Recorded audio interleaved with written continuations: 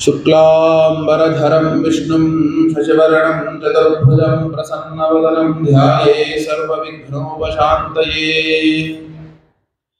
वागीशाद्या सुमनसः सर्वार्थानामुपक्रमे यन्नत्वा कृतकृत्या स्युः तन्नमामि गजाननम्।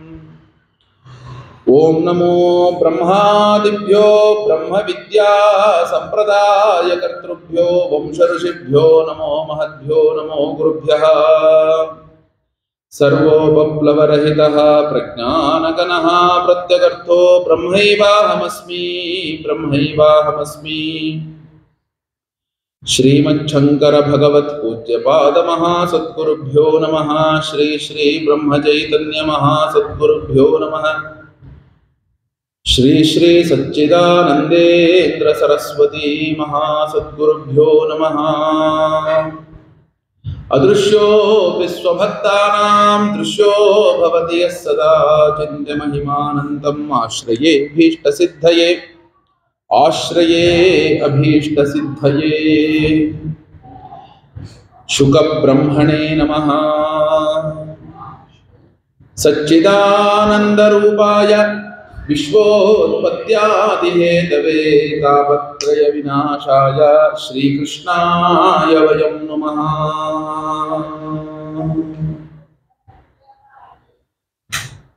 ॐ नमो भगवते वासुदेवाय। ओं नमो भगवते वासुदेवाय। ओं नमो नारायणाय। श्रीकृष्णपरब्रह्मणे नमः। ಭಗವದ್ಭಕ್ತರಲ್ಲಿ ಸವಿನಯ ವಿಜ್ಞಾಪನೆ. ಪರಮ ಪೂಜ್ಯ ಅದ್ವಯಾನಂದೇಂದ್ರ ಸರಸ್ವತಿ ಮಹಾಸ್ವಾಮಿಗಳವರ ಚರಣ ಕಮಲಗಳನ್ನ ಸ್ಮರಿಸಿಕೊಳ್ಳುತ್ತಾ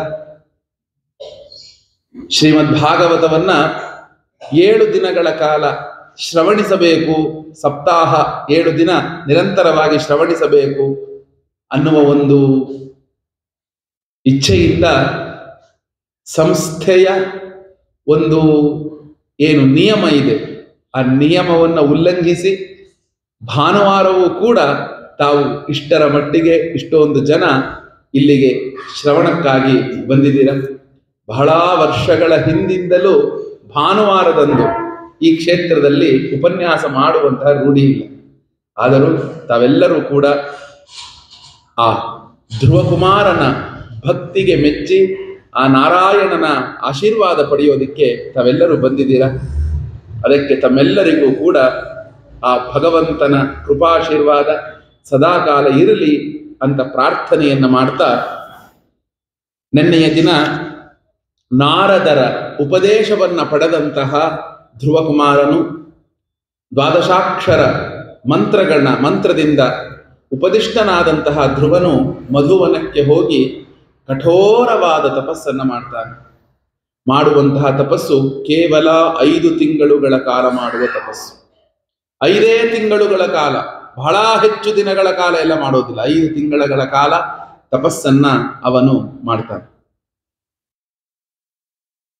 ಮೊದಲನೆಯ ತಿಂಗಳಲ್ಲಿ ಕೇವಲ ಕಂದಮೂಲ ಫಲವನ್ನ ತಿನ್ನುತ್ತಾ, ಎರಡನೆಯ ತಿಂಗಳಿನಲ್ಲಿ ಮೂರು ಮೂರು ದಿನಗಳಿಗೆ ಎರಡನೆಯ ತಿಂಗಳಲ್ಲಿ ಆರಾರು ದಿನಗಳಿಗೆ ಎಲೆ ಒಣಗಿದ ಎಲೆ ಹುಲ್ಲನ್ನ ತಿನ್ನುತ್ತಾ, ಮೂರನೆಯ ತಿಂಗಳಲ್ಲಿ ಒಂಬತ್ತು ದಿನಗಳಿಗೊಮ್ಮೆ ಕೇವಲ ಯಮುನೆಯ ನೀರನ್ನ ಕುಡಿಯುತ್ತಾ, ನಾಲ್ಕನೆಯ ತಿಂಗಳಿನಲ್ಲಿ ಧ್ರುವಕುಮಾರನು ವಾಯುಭಕ್ಷನಾಗಿ ತಪಸ್ಸನ್ನ ಮಾಡುತ್ತಾ, ಐದನೆಯ ತಿಂಗಳಿನಲ್ಲಿ ಆ ಜಿತಶ್ವಾಸನಾಗಿ, ಆ ಪ್ರಾಣದ ಮೇಲೂ ಪ್ರಾಣವನ್ನೂ ಕೂಡ ಗೆದ್ದವನಾಗಿ, ಅದರ ಮೇಲೂ ಕೂಡ ಒಂದು ಸಾಧಿಸಿದವನಾಗಿ, ತನ್ನ ಸಿದ್ಧಿಯನ್ನು ಸಾಧಿಸಿದವನಾಗಿ, ಸ್ಥಾಣುವಿನಂತೆ ನಿಂತು ಭಗವಂತನನ್ನ ಧ್ಯಾನ ಮಾಡ್ತಾ ಹೋಗ್ತಾರೆ ನಾರದ ಮಹರ್ಷಿಗಳು ಏನು ಆ ಧ್ರುವಕುಮಾರನಿಗೆ ಭಗವಂತನ ಮೂರ್ತಿ ಅಂತ ಹೇಳಿದ್ರು?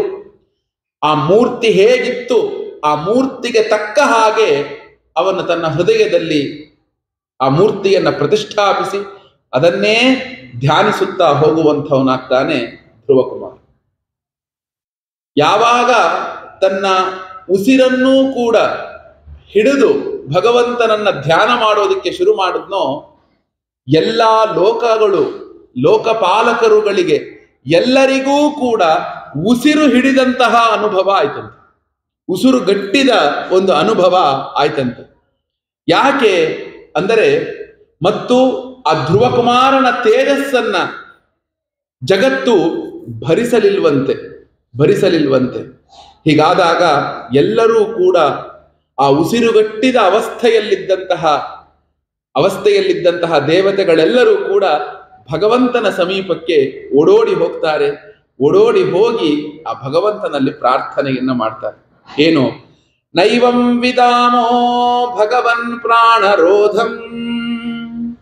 ಚರಾಚರಸ್ಯ ಅಖಿಲ ಸತ್ವಧಾಮ್ನಃ ವಿಧೇಹಿ ತನ್ನೋ ವೃಜಿನಾದ್ವಿಮೋಕ್ಷಂ ಪ್ರಾಪ್ತಾ ವಯಂ ತ್ವಾಂ ಶರಣಂ ಶರಣ್ಯಾ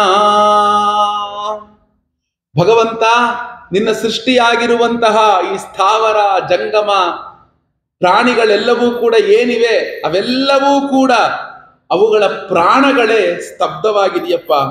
ಇಂತಹ ಒಂದು ಅನುಭವ ನಮಗೆ ಹಿಂದೆಂದೂ ಆಗಿರಲಿಲ್ಲ. ಯಾವತ್ತೂ ಕೂಡ ಇಂತಹ ಅನುಭವ ಆಗಿರಲಿಲ್ಲಪ್ಪ. ಆದ್ರಿಂದ ನಾನು, ನಾವೆಲ್ಲರೂ ಕೂಡ ನಿನಗೆ ಶರಣು ಬಂದಿದ್ದೇವೆ ಶರಣು ಬಂದಿದ್ದೇವೆ. ಯಾಕೆ ಅನುಭವ ಆಗ್ತಿದೆ ಗೊತ್ತಿಲ್ಲ.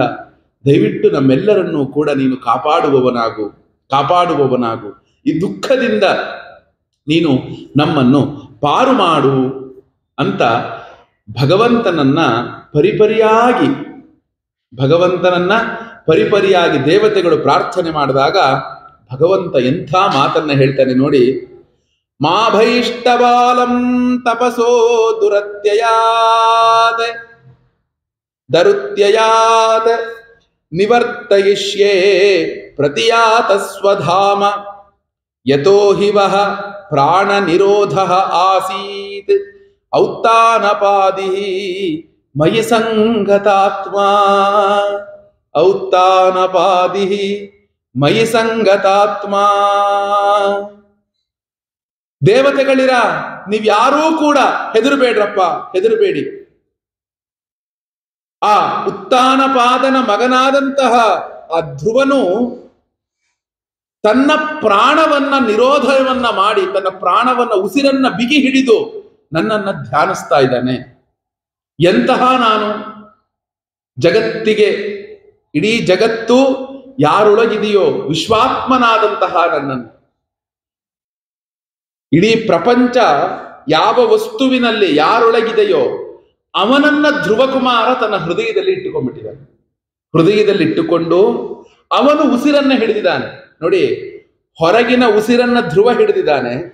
ಧ್ರುವನ ಒಳಗಡೆ ಭಗವಂತ ಇದ್ದಾನೆ, ಭಗವಂತನ ಒಳಗೆ ಸಮಸ್ತ ಚರಾಚರ ಜಗತ್ತಿದೆ. ಹೊರಗಿನ ಉಸಿರನ್ನ ಧ್ರುವ ಹಿಡಿದಿದ್ದಕ್ಕೆ ಭಗವಂತನ ಒಳಗಿರುವ ಚರಾಚರ ವಸ್ತುಗಳಿಗೆ ಉಸಿರುಗಡ್ತಾ ಇದೆ. ಭಗವಂತನ ಒಳಗಿರುವಂತಹ ಆ ಚರಾಚರ ವಸ್ತುಗಳಿಗೆ ಉಸಿರುಗಡ್ತಾ ಇದೆಯಪ್ಪ, ಉಸಿರುಗಡ್ತಿದೆ. ಅಯ್ಯೋ, ಹಾಗಾದ್ರೆ ಧ್ರುವ ಉಸಿರುಗಟ್ಟಿಬಿಟ್ಟಿದಾನಲ್ಲ ಅವನಿಗೆ ಏನಾದ್ರೂ ಆಗ್ಬಿಟ್ರೆ? ಏನು ಆಗೋದಿಲ್ಲ. ಔತ್ತಾನ ಪಾದಿಹಿ ಮೈ ಸಂಗತಾತ್ಮ. ಅವನ ಉಸಿರನ್ನ ನಾನಾಡ್ತಾ ಇದ್ದೀನಿ ಯಾರ ಉಸಿರನ್ನ? ಧ್ರುವಕುಮಾರನ ಉಸಿರನ್ನ ನಾನಾಡ್ತಾ ಇದ್ದೀನಪ್ಪ. ಅವನು ಅವನ ಉಸಿರು ನನ್ನ ಉಸಿರಿನೊಳಗೆ ಲೀನವಾಗಿ ಲೀನವಾಗಿದೆ. ಈಗಿಂದ ಈಗಲೇ ಕೂಡ ನಾನು ಮಧುವನಕ್ಕೆ ಹೋಗ್ತೇನೆ. ಆ ಧ್ರುವಕುಮಾರನ ತಪಸ್ಸನ್ನ ನಿಲ್ಲಿಸುವಂತೆ ನಾನು ಮಾಡ್ತೇನೆ. ಮತ್ತಿನ್ನೇನು ನೀವೆಲ್ಲರೂ ಕೂಡ ನಿಮ್ಮ ನಿಮ್ಮ ಲೋಕಕ್ಕೆ ತೆರಳಿರಿ ಅಂತ ಹೇಳಿ ದೇವತೆಗಳಿಗೆ ಆಶ್ವಾಸನೆಯನ್ನು ಕೊಟ್ಟು ಭಗವಂತನು ಕಳುಹಿಸಿಕೊಡ್ತಾನೆ. ಮೈತ್ರೇಯರು ಹೇಳ್ತಾರೆ, ತಯೇವ ಮುತ್ಸನ್ನ ಭಯಾವುರುಕ್ರಮೇ ಕೃತಾವನಾಮಾಹ ಪ್ರಯಯುಸ್ತ್ರಿವಿಷ್ಟಪಂ ಸಹಸ್ರ ಶೀರ್ಷಾಪಿ ತಥೋ ಕರುತ್ಮತ ಮಧೋರ್ವನಂ ಭೃತ್ಯದಿದೃಕ್ಷಯಾಗತಃ ಭಗವಂತನು ಕಾಯ್ತಾ ಇರ್ತಾನಂತೆ ಕಾಯ್ತಾ ಇರ್ತಾನಂತೆ. ಏನಕ್ಕೆ ಕಾಯ್ತಿರ್ತಾನೆ ಗೊತ್ತಾ? ಯಾರಾದರೂ ಒಬ್ಬ ಭಕ್ತ ಅನನ್ಯ ಭಾವದಿಂದ ನನ್ನನ್ನು ಕೂಗ್ತಾನೆ, ಕೂಗಿದ್ರೆ ನಾನು ಓಡಿ ಹೋಗ್ತೀನಿ ಎಂಬ ಭಾವದಿಂದ ಕಾಯ್ತಾ ಇರ್ತಾನೆ. ನಾನು ಓಡ್ ಹೋಗ್ತೀನಿ ಓಡ್ ಹೋಗ್ತೀನಿ ಓಡ್ ಹೋಗ್ತೀನಿ. ಅವನು ನಾನು ಕಾಪಾಡ್ತೀನಿ ಅನ್ನುವ ಭಾವದಿಂದ ಭಗವಂತ ಕಾಯ್ಕೊಂಡಿರ್ತಾನಂತೆ. ಏನಾಯ್ತು? ಭಗವಂತ ಹೇಳ್ತಾ ಇದ್ದಾರೆ ಮೈತ್ರೇಯರು, ವಿದುರರಿಗೆ ಹೇಳುವ ಮಾತಿದು, ಆ ಭಗವಂತನು ಯಾವಾಗ ಎಲ್ಲ ದೇವತೆಗಳಿಗೂ ಆಶ್ವಾಸನೆಯನ್ನು ಕೊಟ್ನೋ, ಆಗ ಎಲ್ಲ ದೇವತೆಗಳು ಕೂಡ ಭಗವಂತನಿಗೆ ನಮಿಸಿ ತಮ್ಮ ತಮ್ಮ ಲೋಕಕ್ಕೆ ಹೊರಟು ಹೋಗ್ತಾರೆ. ಆ ನಂತರ ವಿರಾಟ್ ಸ್ವರೂಪನಾದಂತಹ, ವಿಶ್ವರೂಪಧರನಾದಂತಹ ಆ ಭಗವಂತನು ತನ್ನ ಛಂದೋಮಯೇನ ಗರುಡೇನ ನೋಡಿ, ಈ ಸಪ್ತಾಹದಲ್ಲಾಗಿದ್ದು ಎರಡು ಒಂದು ಉಪಾಖ್ಯಾನಗಳು. ಒಂದು ಗಜೇಂದ್ರನ ಉಪಾಖ್ಯಾನ, ಒಂದು ಧ್ರುವೋಪಾಖ್ಯಾನ. ಅಲ್ಲೂ ಕೂಡ ಗರುಡನನ್ನ ಏರಿ ಗಜೇಂದ್ರನನ್ನ ಕಷ್ಟದಿಂದ ಬಿಡುಗಡೆ ಮಾಡೋದಿಕ್ಕೆ ಓಡಿ ಬಂದ್ರೆ ಇಲ್ಲಿ ಧ್ರುವಕುಮಾರನನ್ನ ಧ್ರುವಕುಮಾರನನ್ನ ಧ್ರುವಕುಮಾರನಿಗೆ ಅನುಗ್ರಹ ಮಾಡೋದಕ್ಕೋಸ್ಕರ ಭಗವಂತ ಓಡೋಡಿ ಬರ್ತೀಯ. ಅದೇ ವೇದಮಯವಾದಂತಹ ಗರುಡವನ್ನ, ಗರುಡನನ್ನ ಏರಿ ಆ ಭಕ್ತನನ್ನ ನೋಡೋದು, ನೋಡಲು. ಭಕ್ತನನ್ನ ಕಾಪಾಡುವುದಕ್ಕಾಗಿ ಅವನು ಮಧುವನಕ್ಕೆ ಭಗವಂತನು ದಯಮಾಡಿದವನಾದ, ದಯಪಾಲಿಸಿದವನಾದ. ಸವೈಧಿಯ ಯೋಗ ವಿಪಾಕ ತೀವ್ರಯ, ಹೃತ್ಪದ್ಮಕೋಶೇ ಸ್ಫುರಿತಂ ತಟಿತ್ ಪ್ರಭಂ, ತಿರೋಹಿತಂ ಸಹಸೈವೋಪಲಕ್ಷ್ಯ, ಬಹಿಸ್ಥಿತಂ ತದವಸ್ಥಂ ತದರ್ಶ ಭಗವಂತನು ಬಂದು ಧ್ರುವನ ಎದುರಿಗೆ ನಿಂತಿದ್ದಾನೆ. ಮಧುವನಕ್ಕೆ ಬಂದು ಧ್ರುವನ ಎದುರಿಗೆ ಭಗವಂತನು ನಿಂತಿದ್ದಾನೆ. ಧ್ರುವನು ತನ್ನ ಏಕಾಗ್ರ ಬುದ್ಧಿಯಿಂದ ತನ್ನ ಹೃದಯದೊಳಗೆ ಆ ನಾರದರು ಹೇಳಿರುವಂತಹ ಭಗವಂತನ ರೂಪವನ್ನ ಪ್ರತಿಷ್ಠಾಪನೆ ಮಾಡಿಕೊಂಡು ಆ ಭಗವಂತನ ಚರಣ ಕಮಲಗಳನ್ನ ಅನನ್ಯ ಭಾವದಿಂದ ಧ್ರುವ ಕುಮಾರನು ಧ್ಯಾನಿಸ್ತಾ ಇದ್ದಾನೆ ಧ್ಯಾನಿಸ್ತಾ ಇದ್ದಾನೆ. ಯಾವ ಒಂದು ಎಷ್ಟೊತ್ತಾದ್ರೂ ಕೂಡ ಧ್ರುವ ಕುಮಾರನ ಎದುರಿಗೆ ಭಗವಂತ ಬಂದು ನಿಂತಿದ್ದಾನೆ. ಧ್ರುವ ಕಣ್ಣೇ ಬಿಡ್ತಾ ಇಲ್ಲ. ಧ್ರುವ ಕಣ್ಣೇ ಬಿಡ್ತಾ ಇಲ್ಲ. ಯಾಕೆ? ಅವನ ಹೃದಯದಲ್ಲ ಭಗವಂತನ ಮೂರ್ತಿಯನ್ನ ಧ್ಯಾನ ಮಾಡ್ತಾ ಕುಳಿತು ಬಿಟ್ಟಿದ್ದಾನೆ ಭಗವಂತ ಏನ್ ಮಾಡ್ತಾನೆ ಗೊತ್ತಾ? ಯಾವ ತನ್ನ ಮೂರ್ತಿಯನ್ನ ಧ್ರುವನು, ಭಕ್ತ ಧ್ರುವ ಕುಮಾರನು ತನ್ನ ಹೃದಯದಲ್ಲಿ ಧ್ಯಾನ ಮಾಡ್ತಿದ್ನೋ ಆ ಮೂರ್ತಿ ಏನಾಗ್ಬಿಡತ್ತೆ? ಕಣ್ಣೆದುರಿಂದ ಅವನ ಹೃದಯದಿಂದ ಮಾಯ ಆಗ್ಬಿಡುತ್ತೆ. ಅವನ ಹೃದಯದಿಂದ ಯಾವ ಮೂರ್ತಿಯನ್ನು ನೋಡಿ ಧ್ಯಾನ ಮಾಡ್ತಿದ್ನೋ ಅದು ಏನಾಗುತ್ತೆ ಕಣ್ಮರೆ ಆಗ್ಬಿಡುತ್ತೆ. ಆಗ ಒಂದೇ ಸಲ ಧ್ರುವ, ಯಾವಾಗ ಕಣ್ಮರೆ ಆಗುತ್ತೋ ಹೀಗ್, ಹೀಗೆ ಅನ್ಕೊಂಡು ಕಣ್ಣು ಹೀಗ್ ಬಿಡ್ತಾನೆ. ಇದೇನು ಹೀಗಾಯ್ತಲ್ಲ ಅಂತ ಕಣ್ಣು ಬಿಟ್ಟಾಗ ಯಾವ ಭಗವಂತನ ಮೂರ್ತಿಯನ್ನ ಧ್ರುವಕುಮಾರನು ತನ್ನ ಹೃದಯದಲ್ಲಿ ಧ್ಯಾನ ಮಾಡ್ತಿದ್ನೋ, ಅದೇ ಮೂರ್ತಿ ಧ್ರುವನ ಕಣ್ಣಿನ ಮುಂದೆ ನಿಂತಿದೆ. ಅದೇ ಮೂರ್ತಿ, ಬೇರೆ ಯಾವುದು ಅಲ್ಲ. ಅದೇ ಮೂರ್ತಿ. ಒಂದು ಸ್ವಲ್ಪವೂ ಕೂಡ ವ್ಯತ್ಯಾಸ ಇಲ್ಲ. ಯಾವುದೇ ರೀತಿಯಾದ ವ್ಯತ್ಯಾಸ ಇಲ್ಲ. ಯಾವ ಮೂರ್ತಿಯನ್ನ ಭಗವಂತನು ಧ್ಯಾನ ಮಾಡ್ತಿದ್ನೋ, ಧ್ರುವಕುಮಾರನು, ಆ ಮೂರ್ತಿ ಕಣ್ಣೆದುರಿಗೆ ನಿಂತಿದೆಯಂತೆ, ಆ ಅವನಿಗೆ ಗೋಚರವಾಯ್ತಂತೆ.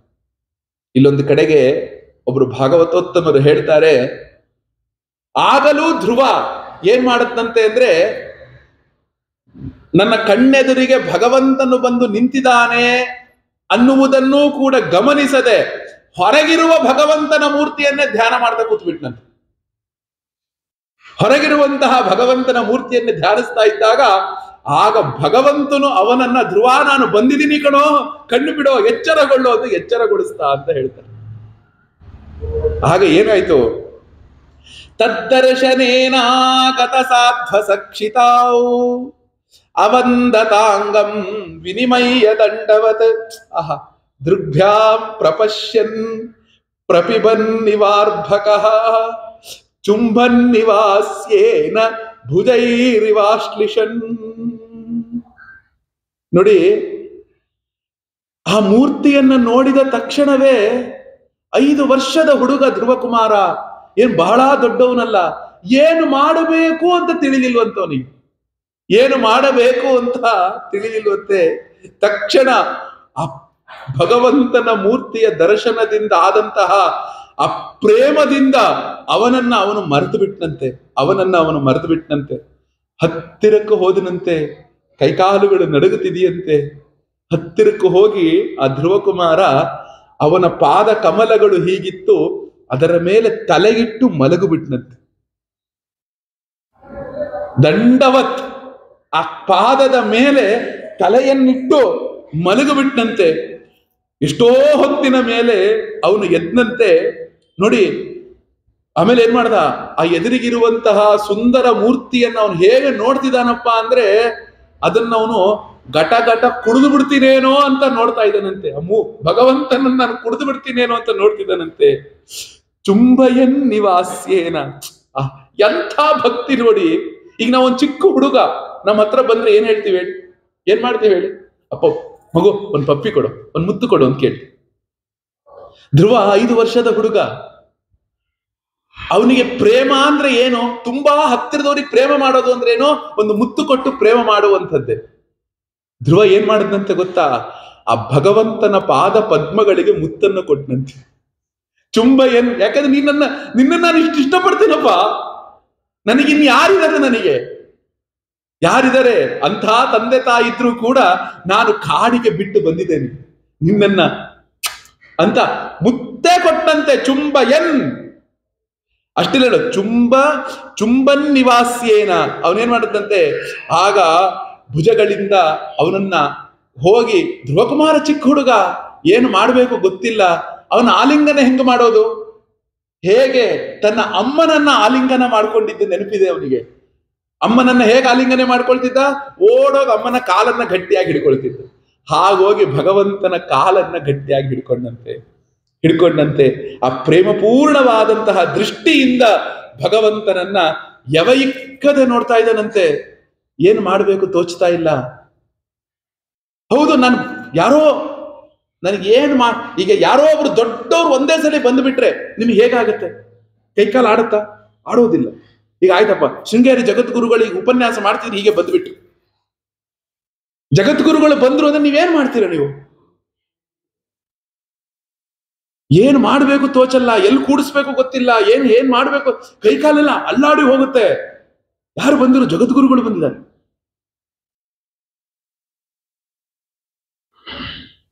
ಅಲ್ಲಾಡಿ ಹೋಗುತ್ತೆ ನಮ್ಮ ಮೈಯೆಲ್ಲ. ಭಗವಂತ್ ನಾವು ಅಂಥದ್ರೊಳಗೆ ಜಗನ್ನಿಯಾಮಕನಾದಂತಹ ಭಗವಂತನು ಎದುರಿಗೆ ಬಂದು ನಿಂತಾಗ, ನೋಡಿ, ನಮ್ಮಂತಹ ನಲವತ್ತು, ಐವತ್ತು, ಅರವತ್ತು ವರ್ಷದವರಿಗೆ ಏನ್ ಮಾಡ್ಬೇಕು ಅಂತ ಗೊತ್ತಾಗಲ್ಲ. ಆ ಐದು ವರ್ಷದ ಹುಡುಗನಿಗೆ ಇನ್ನೇನ್ ಗೊತ್ತಾಗ್ತಿತ್ತು? ಏನ್ ಗೊತ್ತಾಗ್ತಿತ್ತು? ಆಗ ಏನ್ ಮಾಡ್ದ? ಸತಂ ವಿವಿಕ್ಷಂತ ಮತದ್ವಿತಂ ಹರಿಹಿ ಜ್ಞಾತಸ್ಯ ಸರ್ವಸ್ಯ ಚ ಹೃದಯವಸ್ಥಿತ ಕೃತಾಂಜಲಿ ಬ್ರಹ್ಮಮಯೇನ ಕಂಬುನಾ ಪಸ್ಪರ್ಶ ಬಾಲಂ ಕೃಪಯಾ ಕಪೋಲೆ. ಧ್ರುವ, ಭಗವಂತನ ಹತ್ರ ಮಾತಾಡ್ಬೇಕು ಅಂತ ಅನ್ಕೊಳ್ತಾ ಇದ್ದಾನೆ. ಮಾತು ಬರ್ತಾ ಇಲ್ಲ. ಭಗವಂತನನ್ನು ಸ್ತೋತ್ರ ಮಾಡಬೇಕು ಅಂತ ಅನ್ಕೊಳ್ತಿದ್ದಾನೆ. ಮಾತು ಬರ್ತಿಲ್ಲ. ಯಾಕೆ? ಅವನಿಗೇನು ಗೊತ್ತಿಲ್ಲ.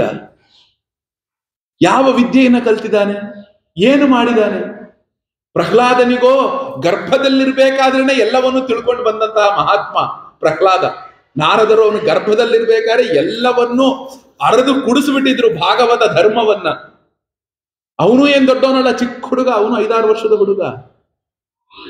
ಈ ಧ್ರುವನು ಅರಮನೆಯಲ್ಲಿ ಬೆಳೆದಂತಹ ಹುಡುಗ, ಇನ್ನು ಮುದ್ದು ಮುದ್ದು ಇರುವಂತಹ ಹುಡುಗ, ನೂರಾರು ಜನ ದಾಸಿಯರ ಜೊತೆಗೆ ಇನ್ನು ಮುದ್ದು ಮಾಡಿಸಿಕೊಂಡು ಬೆಳೆದಂತಹ ಹುಡುಗ, ಏನು ಮಾಡಬೇಕು ಅಂತ ಗೊತ್ತಿಲ್ಲ.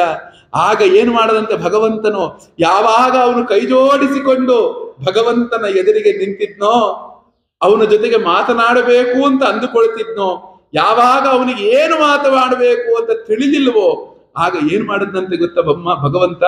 ಸರ್ವಾಂತರ್ಯಾಮಿ ಭಗವಂತ, ನನ್ನ ಹೃದಯದಲ್ಲಿ ಏನಿದೆ ಅಂತ ಭಗವಂತನಿಗೆ ಗೊತ್ತಾಗೋದಿಲ್ವೇ?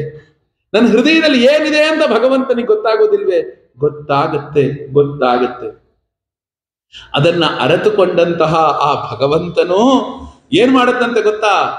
ತನ್ನ ವೇದಮಯವಾದಂತಹ ಶಂಖವನ್ನ ಧ್ರುವಕುಮಾರನ ಒಂದು, ಈ ಒಂದು ಕಪೋಲಕ್ಕೆ, ಕೆನ್ನೆಗೆ ಮುಟ್ಟಿಸಿದಂತೆ ಆ ಬ್ರಹ್ಮಮಯವಾದ, ವೇದಮಯವಾದಂತಹ ಆ ಶಂಖ ಯಾವುದು? ಪಾಂಚಜನ್ಯ.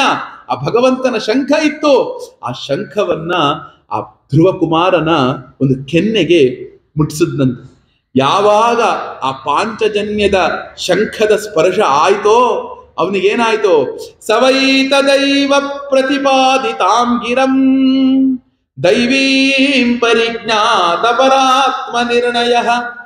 ತಂ ಭಕ್ತಿ ಭಾವೋಭ್ಯ ಗೃಣಾದ ಸತ್ವರಂ ಪರಿಶ್ರುತೋರುಶ್ರವಸಂ ಧ್ರುವಕ್ಷಿತಿ ಆಗ ಆ ಮುಟ್ಟಿಸಿದ ಕೂಡಲೇ ಆ ಧ್ರುವಕುಮಾರನ ಹೃದಯದಲ್ಲಿ ನಾಲ್ಕು ವೇದಗಳ ಜ್ಞಾನ, ಆರು ಶಾಸ್ತ್ರಗಳ ಜ್ಞಾನ, ಪ್ರಪಂಚದ ಮೂಲ ರೂಪವಾಗಿರುವಂತಹ ಪರಮಾತ್ಮನ ತತ್ವದ ಜ್ಞಾನ, ವೇದ ವೇದಾಂತಗಳ ಜ್ಞಾನ ಎಲ್ಲವೂ ಕೂಡ ಸ್ಫುರಿಸಿಬಿಡ್ತಂತೆ. ಎಲ್ಲವೂ ಕೂಡ ತಿಳಿದು ಬಿಡ್ತು. ಗುರುವಿನ ಅನುಗ್ರಹ ಒಂದು ಸಲ ಆಯ್ತು ಅಂದ್ರೆ ನಮಗೆ. ಭಗವಂತನ ಅನುಗ್ರಹ ನಮಗೆ ಒಮ್ಮೆ ಆಯಿತು ಅಂದ್ರೆ ಜಗತ್ತಲ್ಲಿ ನಾವು ಪಡೆಯದೇ ಇರುವಂಥದ್ದು ಯಾವುದೂ ಇಲ್ಲ.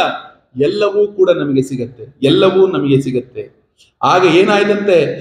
ಆ ಒಂದು ಆ ಭಗವಂತನ ತತ್ವ ಸ್ವರೂಪವನ್ನ ನಿಶ್ಚಯ ಮಾಡಿಕೊಂಡಂತಹ ಆ ಧ್ರುವಕುಮಾರನು ಅತ್ಯಂತ ಭಕ್ತಿ ಭಾವದಿಂದ ವಿಶ್ವವಿಖ್ಯಾತವಾದಂತಹ ಎಲ್ಲಾ ರೀತಿಯಿಂದ ವಿಶ್ವಾತ್ಮನಾದಂಥವನು, ಸರ್ವಾತ್ಮನಾದಂತಹ ಆ ಭಗವಂತನ ಸ್ತೋತ್ರವನ್ನ ಮಾಡೋದಿಕ್ಕೆ ಆರಂಭ ಮಾಡಿದಂತೆ.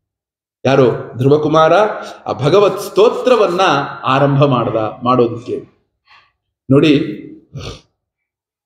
ನಮ್ಮ ಭಾಗವತಕ್ಕೆ ಶ್ರೀಧರ ಸ್ವಾಮಿಗಳು ಅನ್ನುವಂತಹ ಒಬ್ಬ ದೊಡ್ಡ ಮಹನೀಯರು ಒಂದು ಟೀಕೆಯನ್ನ ಬರೆದಿದ್ದಾರೆ. ಗದ್ಯ ರೂಪದಿಂದ. ಗದ್ಯ ಅಂದ್ರೆ ಪ್ರೋಸ್ ನಮಗೆ ಇವೆಲ್ಲ ಪೊಯೆಟ್ರಿ ಪ್ರೋಸ್ ಆಗಿ ಒಂದು ಗದ್ಯ ರೂಪದಿಂದ ಟೀಕೆಯನ್ನು ಬರೆದಿದ್ದಾರೆ.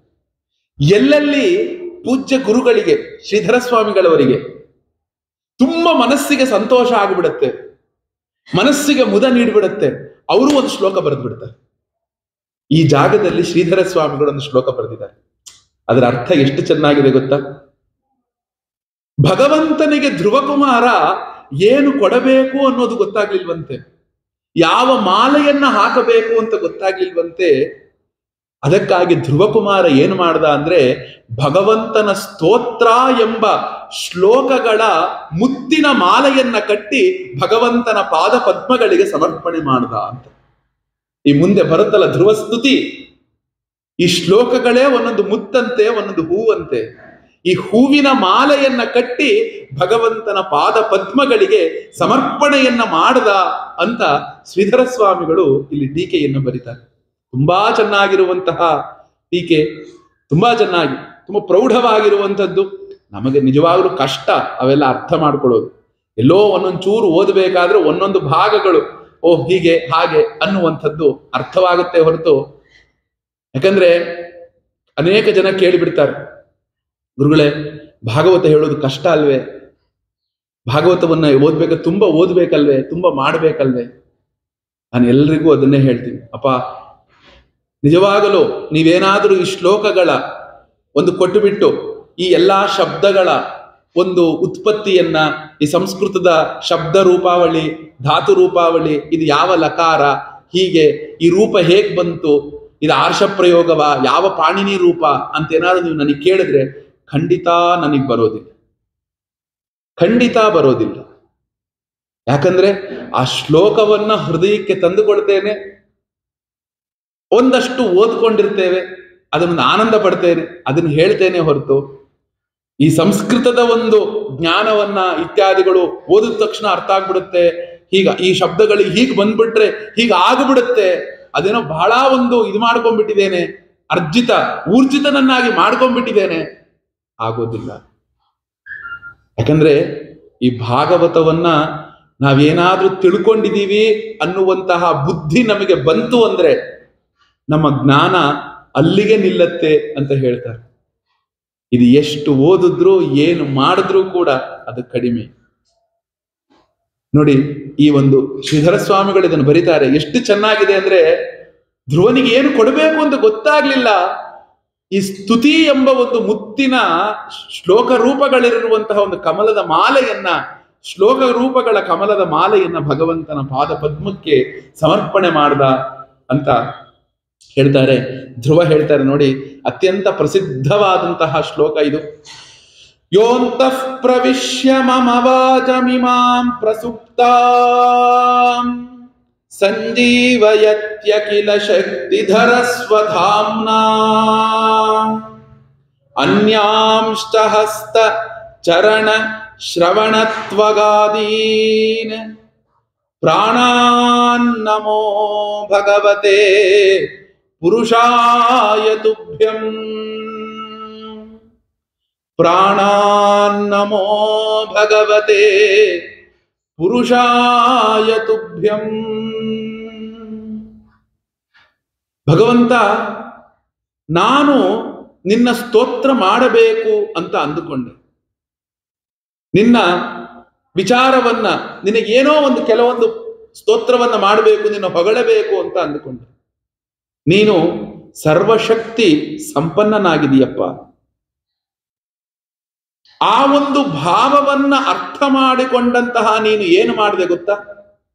ನೀನೇ ನನ್ನೊಳಗೆ ಪ್ರವೇಶವನ್ನ ಮಾಡಿ, ನನ್ನೊಳಗೆ ಸುಪ್ತವಾದಂತಹ ಮಲಗಿದ್ದಂತಹ, ಏನೂ ತಿಳಿಯದೇ ಇದ್ದಂತಹ ಈ ವಾಕ್ಶಕ್ತಿಯನ್ನ, ಈ ಮಾತನ್ನ, ಬುದ್ಧಿಯನ್ನ ಸ್ಫುರಿಸಿ, ನಿನ್ನ ಶಕ್ತಿಯಿಂದ ಉಜ್ಜೀವನಗೊಳಿಸಿ, ಹೇಗೆ ಒಬ್ಬ ಜೀವಂತವಾಗಿದ್ದಾನೆ ಅಂದ್ರೆ ಅವನ ಕೈಕಾಲು ಅಲ್ಲಾಡಿಸ್ತೀಯನಪ್ಪ? ಅವನ ಮೈ ಇನ್ನು ಬಿಸಿ ಇದೆ, ಅವನ ಕುತ್ತಿಗೆ ಇನ್ನು ಅಲ್ಲಾಡಿಸ್ತೀಯನೆ, ಇನ್ನು ಕಣ್ಣು ಪಿಟಿಕಿಸ್ತಾ ಇದ್ದಾನೆ ಅಂತ ಹೇಗೆ ಒಬ್ಬ ಜೀವಂತವಾಗಿರುವ ಮನುಷ್ಯನ ಲಕ್ಷಣಕ್ಕೆ ಶರೀರದ ಒಂದು ಅಲಗಾಡಿಸುವಿಕೆ ಅದಕ್ಕೆ ಸಾಕ್ಷಿ ಎನ್ನುವ ಹಾಗೆ ಏನ್ ಮಾಡ್ತಿದ್ಯಾ ನೀನು? ಇಡೀ ಜಗತ್ತಿಗೆ ಜೀವವನ್ನ ಕೊಟ್ಟಿದೀಯ ನನ್ನೆಲ್ಲಾ ಈ ಇಂದ್ರಿಯಗಳು, ನಾ ಅಂದ್ಕೊಂಡು ನನ್ನ ಶಕ್ತಿಯಿಂದ ಅಲ್ಲಾಡಿಸ್ತಿದ್ದೆ ನಾನು. ನನ್ನ ಶಕ್ತಿಯಿಂದ ಇವೆಲ್ಲವೂ ಇದೆ. ತಪ್ಪು.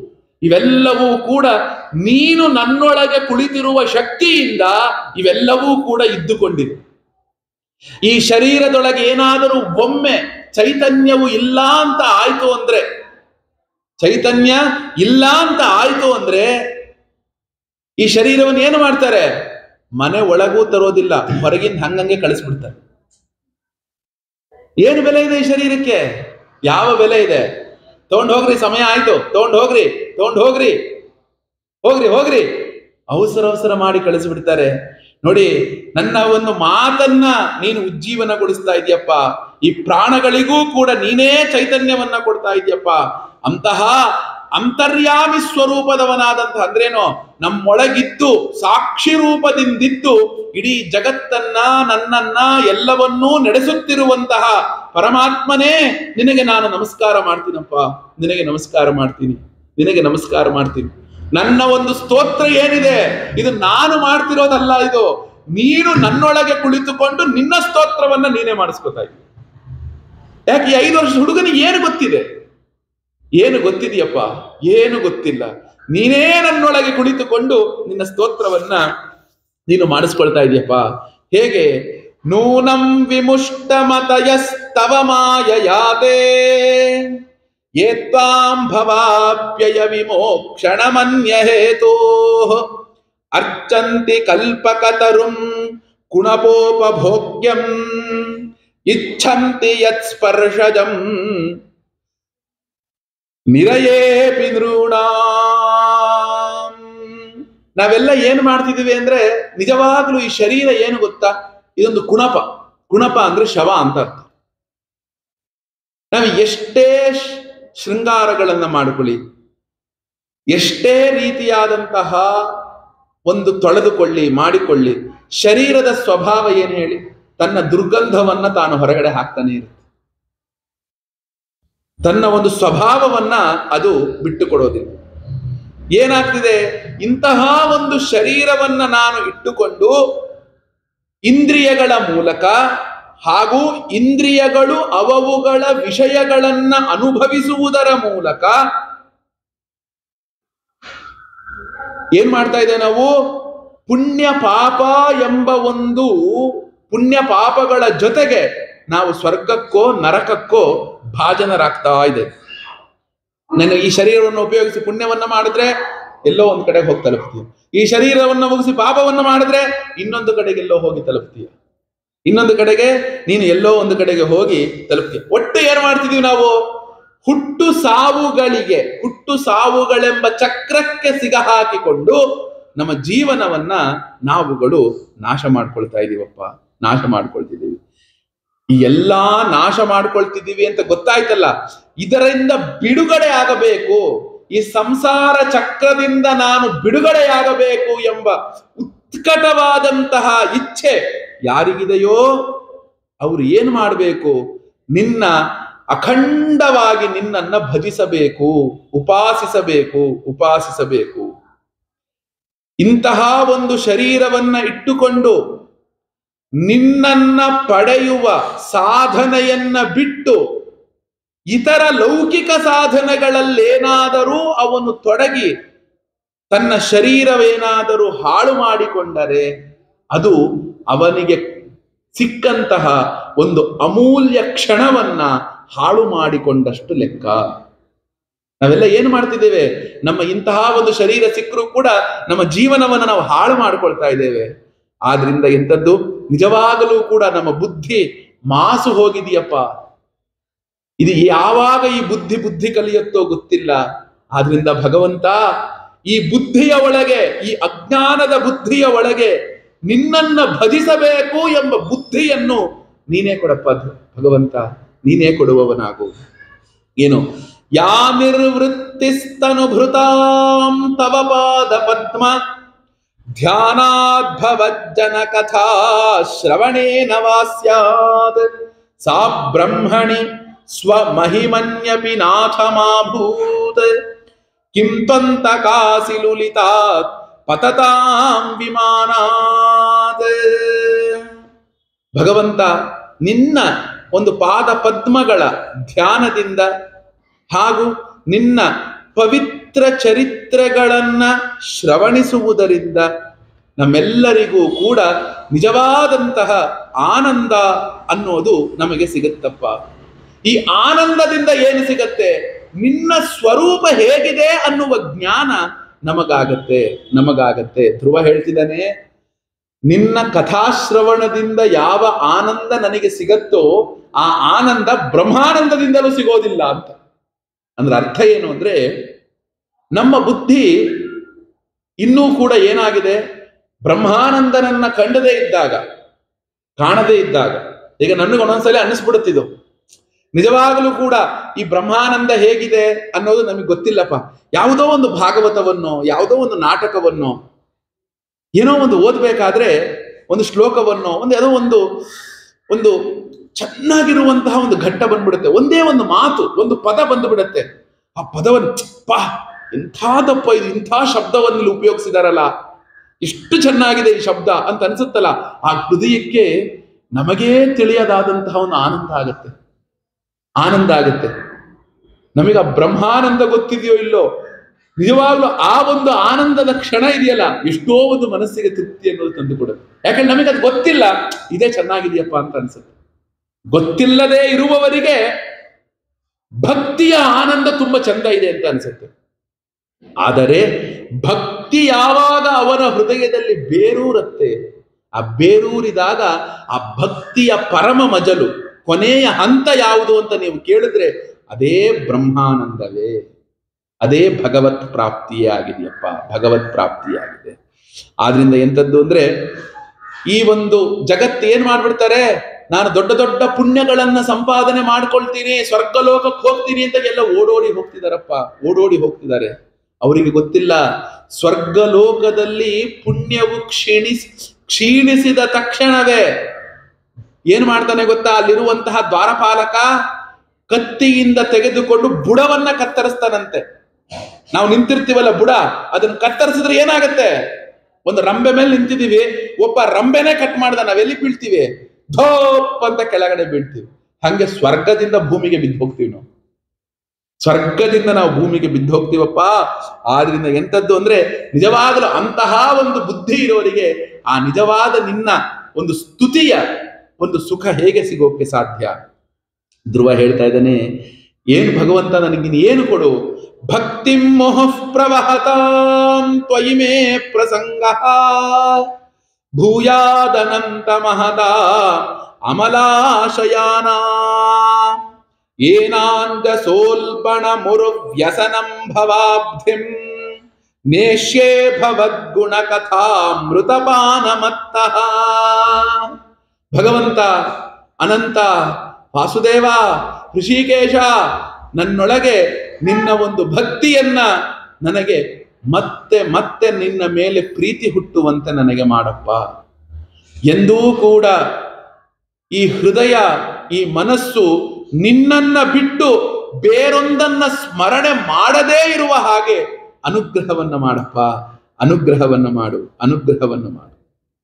ಯಾವ ಮಹಾತ್ಮರು ನಿನ್ನನ್ನು ಸದಾಕಾಲ ಸ್ತುತಿಸ್ತಿರ್ತಾರೋ, ಯಾವ ಮಹಾತ್ಮರ ಹೃದಯದಲ್ಲಿ ಯಾವಾಗಲೂ ನೀನು ನೆಲೆಸಿರ್ತೀಯೋ, ಅಂಥವರ ಸಹವಾಸವನ್ನ ಮತ್ತೆ ಮತ್ತೆ ನನಗೆ ಕರುಣಿಸಪ್ಪ, ಮತ್ತೆ ಮತ್ತೆ ನನಗೆ ನೀನು ಕರುಣಿಸುವವನಾಗು. ನಿನ್ನ ಲೀಲಾ ಗುಣಗಳ ಕಥನೆಯನ್ನು, ಕಥವ, ಕಥೆ, ಕಥಾಶ್ರವಣವನ್ನ ಮಾಡುವ ಒಂದು ಶಕ್ತಿಯನ್ನ ನನಗೆ ನೀನು ಕೊಡಪ್ಪ. ಕೊಡು ಕೊಡು. ಇದರಿಂದ ಏನಾಗುತ್ತೆ? ಈ ಒಂದು ಏನಾಂಜಸ ಉಲ್ಬಣ ಉರು ವ್ಯಸನಂ ಭಿಂ ಇದೊಂದು ಭಯಂಕರವಾದಂತಹ ಒಂದು ಸಂಸಾರ ಸಾಗರ ಇದು. ಇದನ್ನ ದಾಟಬೇಕು ಅಂದರೆ ಭಗವದ್ ಭಕ್ತಿ ಭಗವದ್ ಭಕ್ತರು ಭಗವಂತನ ಕಥಾಶ್ರವಣ ಎಂಬ ಒಂದು ದೋಣಿಯಲ್ಲಿ ಕುಳಿತುಕೊಂಡು ಬಿಡ್ಬೇಕಂತೆ. ಆ ದೋಣಿಯಲ್ಲಿ ಕುಳಿತುಕೊಂಡಾಗ ಏನಾಗತ್ತಂತೆ ಅಂದ್ರೆ ಈ ಸಂಸಾರ ಸಾಗರವನ್ನ ದಾಟಿಸಿ ಬಿಡತ್ತೆ. ಪರೀಕ್ಷಿತನು ಶುಕ ಮಹರ್ಷಿಗಳಿಗೊಂದು ಪ್ರಶ್ನೆಯನ್ನ ಕೇಳ್ತಾನೆ ದಶಮಸ್ಕಂದ ಗುರುಗಳೇ, ನನಗೊಂದು ಕಥೆಯನ್ನ ಕೇಳಬೇಕು ಅಂತ ಅನ್ನಿಸ್ತಿದೆ. ಇದುವರೆಗೂ ನೀವು ಕಥಿತೋ ವಂಶ ವಿಸ್ತಾರ ಸೂರ್ಯವಂಶ, ಚಂದ್ರವಂಶ ಎಲ್ಲರ ಕಥೆಯನ್ನ ವಿಸ್ತಾರವಾಗಿ ಹೇಳಿದ್ವಿ. ಯಾವ ಹರಿ ಯದುಕುಲದಲ್ಲಿ ಹುಟ್ಟಿದನೋ ಆ ಕಥೆಯನ್ನ ನನಗೆ ಹೇಳಿ ಅಂತ ಹೇಳಿದಾಗ ಅಲ್ಲಿ ಹೇಳ್ತಾರೆ ಆ ಒಂದು ದುರ್ಯೋಧನ, ದುಶಾಸನ, ಶಕುನಿ ಮುಂತಾದಂತಹ ಕೃಪಾ, ಭೀಷ್ಮ, ಅಶ್ವತ್ಥಾಮ ಮುಂತಾದಂತಹ ದೊಡ್ಡ ದೊಡ್ಡ ತಿಮಿಂಗಿಲಗಳು, ಸಮುದ್ರದಲ್ಲಿರುವಂತಹ ಹಿಂಸ್ರ ಮೃಗಗಳು ಇರುವಂತಹ ಕೌರವ ಸೈನ್ಯ ಸಾಗರವನ್ನ. ಪಿತಾಮಹಾಮೇ. ಇಂಥ ಅದ್ಭುತ ಶ್ಲೋಕ ಗೊತ್ತಾದ. ಆಗ ಅವನು ಹೇಳ್ತಾನೆ, ಅಂತಹ ಒಂದು ಕೌರವ ಸೈನ್ಯ ಸಾಗರವನ್ನ ನನ್ನ ಅಜ್ಜಂದಿರು, ಹೇಗೆ ಒಂದು ವತ್ಸಪದ ವತ್ಸಪದ ಅಂದ್ರೆ ಏನ್ ಗೊತ್ತಾ? ಒಂದು ಹಸು ಕರು ಹಾಕಿದಾಗ ಆ ಕರುವಿನ ಗೊರಸು ಎಷ್ಟಪ್ಪ ಇರುತ್ತೆ? ಇಷ್ಟೇ ದಪ್ಪ ಇರುತ್ತೆ. ಇಷ್ಟೇ ದಪ್ಪ ಇರುತ್ತೆ ಕರುವಿನ ಗೊರಸು.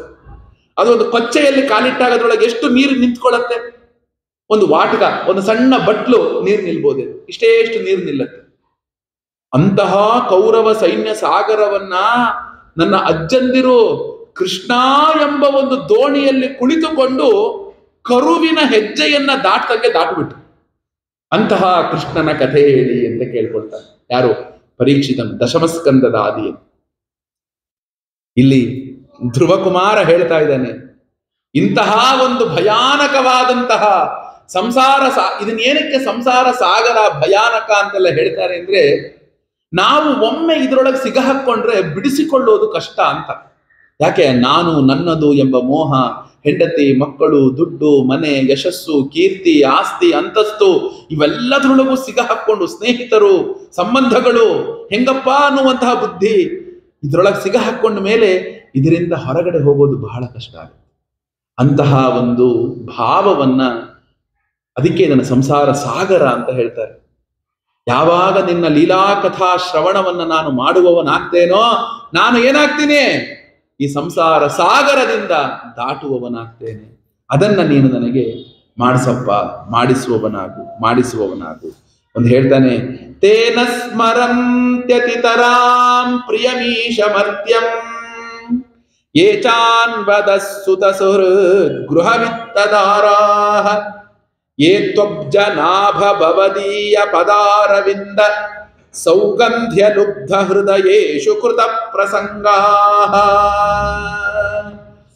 ಪದ್ಮನಾಭನೇ, ಋಷಿಕೇಶನೇ, ಪ್ರಭುವೇ, ನಿನ್ನ ಚರಣ ಕಮಲಗಳ, ನಿನ್ನ ಚರಣ ಕಮಲಗಳಿಂದ ಏನೊಂದು ಸುಗಂಧ ಬರುತ್ತೆ ಘಮ್ ಅನ್ನುವಂತಹ ಒಂದು ವಾಸನೆ ಬರುತ್ತೆ. ಅದರಲ್ಲಿ ರಮಿಸ್ತರಂತೆ, ಆನಂದ ಪಡ್ತಾರಂತೆ, ಹೇಗೆ ಒಂದು ದುಂಬಿ, ಒಂದು ಘಮ ಇರುವಂತಹ ಹೂವಿನ ಸುತ್ತ ಗುಯ್ ಅಂತ ಸುತ್ತುತ್ತೋ, ಹಾಗೆಯೇ ನಿನ್ನ ಋಷಿ ಮುನಿಗಳು, ಭಕ್ತರು ನಿನ್ನ ಚರಣ ಕಮಲಗಳ ಧ್ಯಾನದಲ್ಲಿಯೇ ಗುಯ್ ಅಂತ ನಿನ್ನ ಚರಣ ಕಮಲದಲ್ಲಿ ಆ ಪ್ರೀತಿಯಲ್ಲಿ ಸುತ್ತುಕೊಂಡಿರ್ತಾರಂತೆ. ಅವರಿಗೆ ಪ್ರಪಂಚದ ಯಾವ ಆಲೋಚನೆ ಇರೋದಿಲ್ವಂತೆ? ಸಂಬಂಧಕರಾಗಬಹುದು, ಮಕ್ಕಳು, ಮಿತ್ರ, ಗೃಹ, ಪತ್ನಿ, ಇವರು ಯಾರ ಒಂದು ನೆನಪೂ ಕೂಡ ಇರೋದಿಲ್ವಂತೆ. ಹಾಗೆ ನೆನಪನ್ನ ಬಿಟ್ಟು ತುಕಾರಾಮರಿದ್ರು. ಸ್ವಂತ ತುಕಾರಾಮರು, ದೇಹು ಅನ್ನುವಂತಹ ಒಂದು ಊರು. ಹೇಗಿದ್ರವರು? ವಿಠಲ ವಿಠಲ ಪಾಂಡುರಂಗ ಜಯಹರಿ ವಿಠಲ ಪಾಂಡುರಂಗ. ಒಮ್ಮೆ ಅವರ ಒಂದು ತಂಬೂರಿಯನ್ನ ಹಿಡಿದು ಒಂದು ಸಲ ವಿಠಲನ ಸ್ಮರಣೆಯನ್ನ ಶುರು ಮಾಡಿದ್ರೆ ರಾತ್ರಿ ರಾತ್ರಿ ಕುಣಿದು ಕುಣಿದು ಭಜನೆ ಮಾಡ್ತಿದ್ರಂತೆ ಪ್ರಪಂಚದ ಅರಿವೇ ಇಲ್ಲದೆ. ಒಮ್ಮೆ ಹೃದಯಕ್ಕೆ ಆನಂದ ತಲುಪಬೇಕು. ಆ ಹೃದಯಕ್ಕೆ ಆನಂದ ತಲುಪಬೇಕು. ಆ ತಲುಪಿದಾಗ ಮಾತ್ರವೇ ಮುಟ್ಟಬೇಕು, ಹೃದಯಕ್ಕೆ ಭಗವಂತನ ರುಚಿ ಹತ್ತಬೇಕು. ಆ ಹತ್ತಿದಾಗ ಮಾತ್ರವೇ ಏನಾಗುತ್ತೆ? ಹೀಗಾದ್ರೂ ಮಾಡಿ ಆ ಭಗವಂತನನ್ನ ಪಡಿಬೇಕಪ್ಪ ಎಂಬ ಒಂದು ಇಚ್ಛೆ ಬರುತ್ತೆ. ಆ ಇಚ್ಛೆ ಬಂದಾಗ ಮಾತ್ರವೇ ನಾವು ನಿನ್ನನ್ನು ಪಡೆಯೋದಿಕ್ಕೆ ಸಾಧ್ಯಪ್ಪ ಸಾಧ್ಯ ಆಗಿದೆ. ಧ್ರುವ ಮುಂದೆ ಹೇಳ್ತಾನೆ, ಭಗವಂತ, ನೀನು ಯಾರಾಗಿದೀಯಾ ಈ ಜಗತ್ತಿನ ಕಾರಣನಾಗಿದೀಯಾ ಅಖಂಡನಾಗಿದೀಯಾ ಅನಾದಿಯಾಗಿದೀಯಾ ಅನಂತನಾಗಿದೆಯಾ ಆನಂದನಾಗಿದೆಯಾ ನಿರ್ವಿಕಾರನಾಗಿದೀಯಾ ಬ್ರಹ್ಮ ಸ್ವರೂಪನಾಗಿದೆಯಾ ಅಂತಹ ನಿನಗೆ ಶರಣು ಬಂದಿದ್ದೇನೆ ಶರಣು ಬಂದಿದ್ದೇನೆ ಶರಣು ಬಂದಿದ್ದೇನೆ. ನೋಡಿ, ಒಂದು ಉಪಮಾನವನ್ನ ಕೊಡ್ತಾನೆ ಧ್ರುವಕುಮಾರ. ಎಷ್ಟು ಚೆನ್ನಾಗಿರುವ ಉಪಮಾನವನ್ನ ಕೊಡ್ತಾನೆ ಅಂದ್ರೆ, ಹೇಗೆ? ಆಗತಾನೆ ಹುಟ್ಟಿದಂತಹ ಕರುವಿಗೆ ತನ್ನ ತಾಯಿ ಎಷ್ಟು ಮುದ್ದು ಮಾಡಿ, ನೆಕ್ಕಿ, ಮುದ್ದು ಮಾಡಿ, ಎಲ್ಲ ಮಾಡಿ ತನ್ನ ಒಂದು ಹಾಲನ್ನ ಕುಡಿಸತ್ತೋ? ಹಾಗೆ ಒಬ್ಬ ಒಂದು ಮಗು ತಾನೇ ಕಷ್ಟಪಟ್ಟು ಒಂದು ಅಮ್ಮ, ಒಂದು ಮಗು ಹೆತ್ತಲು ಅಂದ್ರೆ ಆ ಮಗು ಮೇಲೆ ಎಷ್ಟು ಕರುಣಾಪೂರ್ಣ ದೃಷ್ಟಿಯನ್ನ ಬೀಳ್ತಾಳೆ. ಎಷ್ಟು ಪ್ರೀತಿಯಿಂದ ಮಗುವನ್ನ ನೋಡ್ತಾಳೆ. ಭಗವಂತ, ನಾನು ನಿನ್ನ ಮಗ ಇದ್ದೀನಪ್ಪ ನಾನು ನಿನ್ನ ಮಗು ಇದ್ದೀನಿ ಅಷ್ಟೇ ಕರುಣಾಪೂರ್ಣ ದೃಷ್ಟಿಯನ್ನ ನೀನು ನನ್ನ ನನ್ನ ಮೇಲೆ ಬೀರುವವನಾಗಪ್ಪ. ಈ ಸಂಸಾರದಿಂದ ನೀನು ನನ್ನನ್ನು ರಕ್ಷಿಸಪ್ಪ ಅಂತ ಪ್ರಾರ್ಥನೆ ಮಾಡಿದಾಗ ಭಗವಂತನು ಹೇಳ್ತಾನೆ ಮುಂದಿನ ಮಾತನ್ನ ಮೈತ್ರೇಯರು ಹೇಳ್ತಾರೆ ಭೃತ್ಯಾನುರಕ್ತೋ ಭಗವಾನ್ ಪ್ರತಿನಂದ್ಯದೆ, ಪ್ರತಿನಂದ್ಯೇದ ಮಬ್ರವೀತ್. ಆ ಒಂದು ಏನಾಗುತ್ತೆ? ಆ ಭಕ್ತ ವತ್ಸಲನಾದಂತಹ ಭಗವಂತನು ಧ್ರುವನನ್ನ ಕುರಿತು ಈ ಮುಂದಿನ ಮಾತನ್ನ ಹೇಳ್ತಾನೆ, ಧ್ರುವಕುಮಾರ ಧ್ರುವಕುಮಾರ, ನಿನ್ನ ಹೃದಯದ ಸಂಕಲ್ಪವನ್ನ ನಾನು ಅರ್ತಿದ್ದೇನಪ್ಪ. ನಿನ್ನ ಏತಕ್ಕಾಗಿ ಇಷ್ಟು ಕಠೋರವಾದ ತಪಸ್ಸನ್ನ ಮಾಡಿದೆ ಅನ್ನೋದನ್ನ ನಾನು ಅರ್ತಿದ್ದೇನೆ, ಇಡೀ ಜಗತ್ತಿನೊಳಗೆ ಯಾರೂ ಕೂಡ ಅಂತಹ ಒಂದು ಸ್ಥಾನವನ್ನ ಪಡೆದಿರಬಾರ್ದಪ್ಪ. ಅಂತಹ ಒಂದು ಸ್ಥಾನವನ್ನ ನಿನಗೆ ನಾನು ಕೊಡ್ತೇನೆ. ನಿನಗೆ ಮಂಗಳವಾಗಲಿ ಮಂಗಳವಾಗಲಿ. ಎಂತಹ ಸ್ಥಾನ ಅದು? ಅಂದ್ರೆ ಹೇಳ್ತಾರೆ ನೋಡಿ, ಇದುವರೆಗೂ ಕೂಡ ಅದನ್ನು ಯಾರೂ ಪಡೆಯೋದಿಕ್ಕೆ ಸಾಧ್ಯ ಇಲ್ಲ. ಗ್ರಹ, ನಕ್ಷತ್ರ, ತಾರಾಗಣಗಳಿಗೆ ಅದೇನಾಗುತ್ತೆ? ಅದು ಒಂದು ಮೇಟಿ ಕಂಬದಂತಿರುತ್ತೆ. ಎಲ್ಲರೂ ಧ್ರುವ ನಕ್ಷತ್ರವನ್ನು ನೋಡಿ, ಈಗಲೂ ಕೂಡ ಸಮುದ್ರದ ಮಧ್ಯದಲ್ಲಿ ನಾವೊಂದು ದಡವನ್ನ ತಲುಪಬೇಕು ಅಂದ್ರೆ ಈಗೆಲ್ಲ ಒಂದು ಕಾಂಪಸ್ ಇಟ್ಕೊಳ್ತಾರೆ. ಹಿಂದೆಲ್ಲ ಹೋಗಬೇಕಾದ್ರೆ ಧ್ರುವ ನಕ್ಷತ್ರವನ್ನ ಹೃದಯದಲ್ಲಿ ಇಟ್ಟುಕೊಂಡು ಹೋಗ್ತಿದ್ರಂತೆ. ಯಾಕೆ? ಅದು ಬದಲಾಗದೇ ಇದೆ, ಅಲ್ಲಿಯೇ ಇರುತ್ತೆ. ಆ ರೀತಿ ಇರುವಂತಹ ಮೇರುವಾಗಿ ಇರುತ್ತಪ್ಪ. ನೋಡಿ, ಪ್ರಳಯ ಕಾಲದವರೆಗೆ ಮಾತ್ರ ಇಡೀ ಪ್ರಳಯ ಕಾಲದಲ್ಲಿ ಇಡೀ ಜಗತ್ತೇ ನಾಶ ಹೊಂದಿದರೂ ಕೂಡ ನೀನು ನಿನಗೆ ನಾನು ಕೊಡುತ್ತಿರುವಂತಹ ಜಾಗ ಅದು ಯಾವಾಗಲೂ ಕೂಡ ಸ್ಥಿರವಾಗೇ ಇರುತ್ತಪ್ಪ, ಸ್ಥಿರವಾಗೇ ಇರುತ್ತೆ. ನಿನ್ನ ಒಂದು ನಕ್ಷತ್ರಕ್ಕೆ ದೊಡ್ಡ ದೊಡ್ಡ ನಕ್ಷತ್ರಗಳು ಪ್ರದಕ್ಷಿಣೆಯನ್ನ ಮಾಡ್ತಾ ಇರ್ತಾವಪ್ಪ. ಅಂತಹ ಒಂದು ಧ್ರುವಲೋಕವನ್ನ ನಾನು ನಿನಗೆ ಕೊಡ್ತಾ ಇದ್ದೇನೆ ಅಂತ ಭಗವಂತನು ಧ್ರುವಕುಮಾರನಿಗೆ ಆಶೀರ್ವಾದವನ್ನು ಮಾಡ್ತಾನೆ ಅಷ್ಟೇ ಅಲ್ಲ, ಏನಾಗುತ್ತೆ? ನೀನು ಈ ಭೂಮಿಯನ್ನ ಮೂವತ್ತಾರು ಸಾವಿರ ವರ್ಷಗಳ ಕಾಲ ಧರ್ಮದಿಂದ ಭೂಮಂಡಲವನ್ನ ಆಡು ಅಂತ ಹೇಳ್ತಾನೆ ಇಷ್ಟ ಹೇಳಿ? ಒಬ್ಬ ಮನುಷ್ಯ ನೂರು ವರ್ಷ ಬದುಕಿದರೆ ಅವನಿಗೆ ಮೂವತ್ತಾರು ಸಾವಿರ ದಿನ ಆಗುತ್ತೆ. ಎಷ್ಟು ಹೇಳಿ? ಒಬ್ಬ ಮನುಷ್ಯ ನೂರು ದಿನ ಬದುಕಿದ್ರೆ ಮುನ್ನೂರ ಅರವತ್ತು ಇಂಟು ನೂರು, ಮೂವತ್ತಾರು ಸಾವಿರ ದಿನ ಆಗುತ್ತೆ. ಅಂಥದ್ರೊಳಗೆ ಮೂವತ್ತಾರು ಸಾವಿರ ವರ್ಷ, ಒಂದು ಸಾವಿರ ವರ್ಷ, ಎರಡು ಸಾವಿರ ವರ್ಷ ಅಲ್ಲ, ಅಷ್ಟು ವರ್ಷಗಳ ಕಾಲ ಈ ಭೂಮಿಯನ್ನ ನೀನು ಧರ್ಮದಿಂದ ಆಳಿದವನಾಗಿ ನಂತರ ನೀನು ಧ್ರುವ ನಕ್ಷತ್ರವನ್ನ ತಲುಪುವವನಾಗೋ, ಆ ನಂತರ ನೀನು ಬಂದು ನನ್ನನ್ನೇ ಸೇರುವವನಾಗ್ತೀಯಪ್ಪ ಅಂತ ಆಶೀರ್ವಾದವನ್ನ ಅವನು ಮಾಡ್ತಾನೆ. ನೋಡಿ, ಇಷ್ಟೆಲ್ಲ ಒಂದು ಭಗವಂತ ಇನ್ನು ಬಹಳ ಒಂದು ವಿಚಾರವನ್ನ ಹೇಳ್ತಾನೆ. ನೀನು ನಿಜವಾಗಲೂ ಕೂಡ ನಿನ್ನ ನಿಜಧಾಮಕ್ಕೆ ಹೋಗ್ತೀಯಪ್ಪ. ನೀನು ಬಹಳ ಸುಖಿಯಾಗಿರ್ತೀಯ, ಆನಂದವಾಗಿರ್ತೀಯ, ಪ್ರಪಂಚದ ಎಲ್ಲಾ ಸುಖವನ್ನು ಅನುಭವಿಸ್ತೀಯ ಎಲ್ಲ ಹೇಳಿ ಭಗವಂತನ ಏನ್ ಮಾಡ್ತಾನೆ ಅಂದ್ರೆ ಅವನು ನೋಡ್ತಾ ನೋಡ್ತಾ ಇರುವ ಹಾಗೆಯೇ ಆ ಗರುಡ ಧ್ವಜವನ್ನ ಏರಿ ಆ ಗರುಡನ ಮೇಲೆ ಕುಳಿತುಕೊಂಡು ತನ್ನ ನಿಜಧಾಮಕ್ಕೆ ಅವನು ಹೋಗ್ತಾನೆ. ಇಷ್ಟೆಲ್ಲ ದೊಡ್ಡ ಆಶೀರ್ವಾದವನ್ನ ಮಾಡಿದ್ರು ಕೂಡ ಏನಾಗುತ್ತೆ? ಸೋಪಿ ಸಂಕಲ್ಪಜಂ ವಿಷ್ಣೋಹೋ ಪಾದ ಸೇವೋಪಸಾದಿತಂ ಪ್ರಾಪ್ಯ ಸಂಕಲ್ಪ ನಿರ್ವಾಣಂ ನಾತಿ ಪ್ರೀತೋಭ್ಯಗಾತ್ ಪುರಂ ಭಗವಂತನ ಪಾದ ಸೇವೆಯನ್ನ ಧ್ರುವನಿಗೆ, ಸೇವೆಯಿಂದ ಧ್ರುವನಿಗೆ ಸಂಕಲ್ಪಿಸಿದಂತಹ ಇಷ್ಟಾರ್ಥವೇನೋ ಈಡೇರ್ತಂತೆ. ಆದರೆ ಆ ಧ್ರುವನ, ಧ್ರುವಕುಮಾರನ ಮನಸ್ಸಿಗೆ ಸಂತೋಷ ಉಂಟಾಗಿಲ್ವಂತೆ ಆನಂದ ಉಂಟಾಗಿಲ್ವಂತೆ.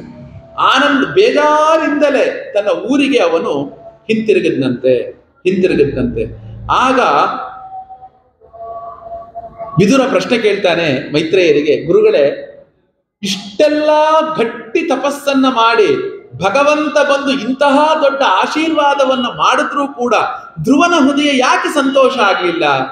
ಸಂತೋಷ ಆಗ್ಲಿಲ್ಲ? ಅಂದಾಗ ನೋಡಿ ಮೈತ್ರೇಯರು ಹೇಳ್ತಾರೆ ಧ್ರುವನು ತಪಸ್ಸನ್ನೇನೋ ಮಾಡತ್ನಪ್ಪ. ಅವನ ಮನಸ್ಸು ಏನಾಗ್ಬಿಟ್ಟಿತ್ತು ಅಂದ್ರೆ ತನ್ನ ಮಲತಾಗಿ ಹೇಳಿದಂತಹ ಕಟು ವಚನಗಳನ್ನ ತನ್ನ ಹೃದಯದಲ್ಲಿ ತುಂಬಿಕೊಂಡು ನನ್ನ ಅಜ್ಜಂದರು, ಮುತ್ತಜ್ಜಂದಿರು, ನನ್ನ ಅಪ್ಪ ಯಾರೂ ಏರದ ಸ್ಥಾನವನ್ನ ನಾನು ಏರಬೇಕು ಎಂಬ ಒಂದು ಸಂಕಲ್ಪದಿಂದ ಅವನು ತಪಸ್ಸನ್ನ ಮಾಡಿದವನಾದ ಮಾಡಿದವನಾದ.